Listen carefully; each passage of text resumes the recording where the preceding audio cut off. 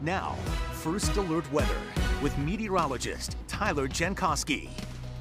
Great opportunity to get involved there and help out some people really in need for the It holiday season. really is. I mean, you think about families that just can't quite make ends meet to get you know the gifts to their kids. It's just a, a way to help help them do that. Yeah, definitely feeling like the holidays out there. Yeah, have you guys done any decorating yet? Uh, not really. No, still cleaning up from Thanksgiving. you know what I got yesterday? One of those little things with a red bow and like Christmas tree pieces. Very Like a- hang a on a wreath? door. Yeah. No, not quite, but it looks fancy. Okay. It Going in smells that good. direction. That's, There that's you go. of the All idea. right, yeah, I have pine So- candles. That's what I usually do. Yes. So, yeah. and we have a little snow too to make things There we look go. A, a little nice. I know southern Vermont got slammed with the last storm, but to the north didn't get very much. So right now we just have a few snow showers out there, but been checking a lot of reports at the ground, and I don't think all of this is actually reaching the ground. So flurries.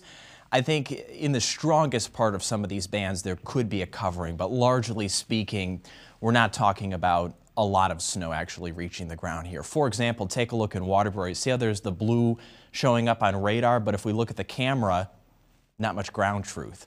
And I think that's the case in most of the bands that we're seeing on radar. So a little snow each day through Friday, though I will say the snow tomorrow in the mountains, we are talking about a couple inches in the mountains tomorrow, but not in the Champlain Valley. Not until Friday when a little clipper system comes through with the potential for an inch or two. And by Saturday, the sun returns. Early next week, by the way, I think we're talking about plain rain. So uh, an interesting start to winter here, how it was so cold to begin and now at least north, areas to the north, there hasn't been a lot of snow. So there are the snow showers going through the day on Futurecast, not really adding up, I think at most a covering in a few towns. And then tomorrow, notice how the snow is mainly along the spine of the Green Mountains and the northern Adirondacks. So I think that's where there'll be a little accumulation. And on Friday, this is that clipper system that comes through. So it's more of an organized batch of snow, an inch or two possible as we go through the day. Friday, it is colder on Friday, and then the sun comes back on Saturday. So this is the snowfall map for tomorrow, mainly just the higher elevations. I think Jay Peak should do quite well. Could easily get three to six inches there tomorrow. And that's all because of this northwest wind that really favors the mountains. So highs today in the middle and upper 30s.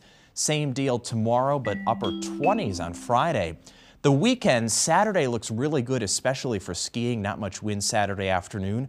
Sunday, a different story. It clouds up, it's windy in advance of rain for Monday and Tuesday of next week.